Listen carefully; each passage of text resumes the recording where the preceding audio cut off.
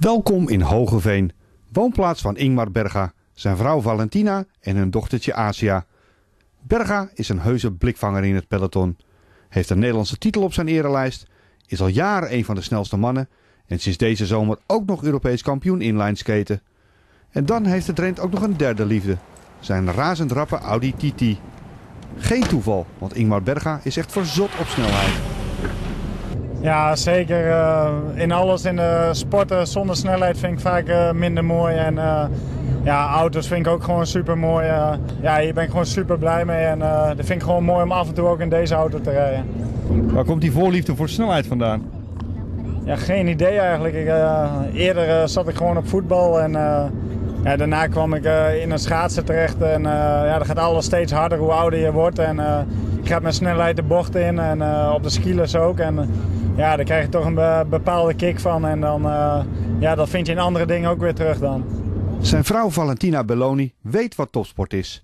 De Italiaanse heeft liefst 18 wereldtitels op haar naam en is nu bondscoach van de Nederlandse skaters. Ja, dat is op zich heel prettig. Alleen eigenlijk Valentina en ik hebben het thuis niet heel veel over de sport. We vinden de sport allebei gewoon helemaal geweldig. Maar ja, we weten ook wel dat er gewoon meer is als sport. En ja, we houden ook gewoon van ontspanning allebei. En, uh, en dus het is niet zo dat we thuis alleen maar over sport hebben. En dat is ook iets wat ik niet wil. Ik wil ook dat ik af en toe andere dingen heb. Als ik een keer zin heb om, om wel een keer op stap te gaan, wat ik ook mooi vind, dan, dan doe ik dat ook. En ja, dat vindt Valentine ook allemaal prima. Dus ja, op dit moment is, is sport eigenlijk wel mijn leven. En ja, ik beleef er nu gewoon heel veel plezier aan. Ik denk ook omdat ik gewoon veel andere dingen erbij doe. En ja, daarom kan ik het denk ik nog wel een tijd mooi volhouden zo. Op 28 en 29. En je hebt een dochter, Asia. Ja, klopt.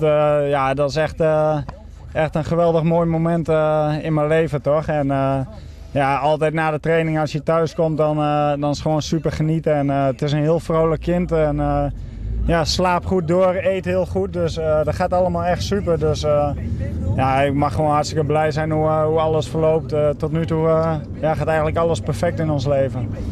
Deze zomer verraste Berga iedereen door in Italië Europees kampioen inline skate op de marathon te worden. Daar had hij ook zelf niet op gerekend. Vlak voor het EK begon ik weer te winnen met skileren. En eigenlijk de laatste jaren werd ik heel vaak tweede en derde in skileren. En op een gegeven moment krijg je toch wat minder vertrouwen. En dan denk je van ja, als ik op het podium sta is ook mooi.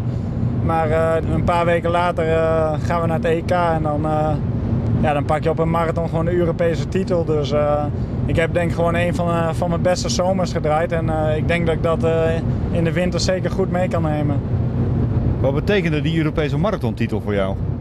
Ja, dat is gewoon de mooiste, mo absoluut de mooiste overwinning uit mijn carrière. En ja, als je dan zo'n wedstrijd wint, dan, ja, dan zie je gewoon dat alles mogelijk is. En ja, dan ga je ook weer wat makkelijker de volgende wedstrijden in. En ja, dan krijg je ook weer nieuwe doelen voor het komende seizoen. Van de wieltjes gaat het nu weer over op schaatsen.